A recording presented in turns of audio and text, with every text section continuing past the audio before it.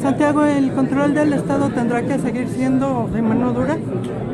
Mira, el control del Estado tiene que ser no de una mano dura, una mano firme, que yo creo que es distinta.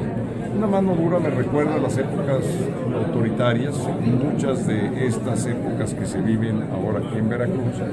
Una mano firme es una mano que hace cumplir la ley, no más, no menos, que el Estado de Derecho prevalezca.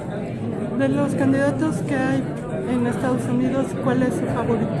Mira, afortunadamente no tengo que votar porque eh, pues cada quien con sus candidatos, nosotros ya aquí tenemos los nuestros, yo voto por los del PAN, allá que se preocupen por quién va a salir como presidente o presidenta de Estados Unidos. ¿No cree que las agendas de ellos afecten a México?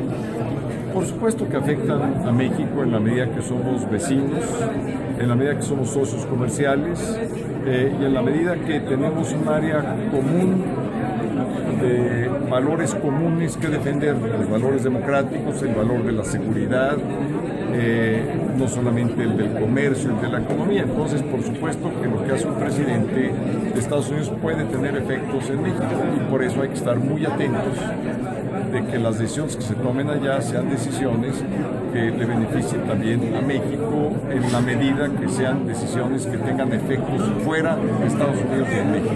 ¿Cuáles serían importantes para nosotros? ¿Alguna que pudiera mencionar? Pues mira, una es la parte migratoria que ellos eh, tomaran la decisión de generar un proceso de darles documentos a todos los mexicanos que hoy no los tienen y que pudieran trabajar libremente, pasar la frontera libremente eh, y generar, digamos, un ambiente de, de garantías para nuestros migrantes. Esa sería una muy buena decisión que ya empezó a tomar el presidente Obama, pero todavía no se ha podido concluir de una manera como nos gustaría verla a muchos de los mexicanos.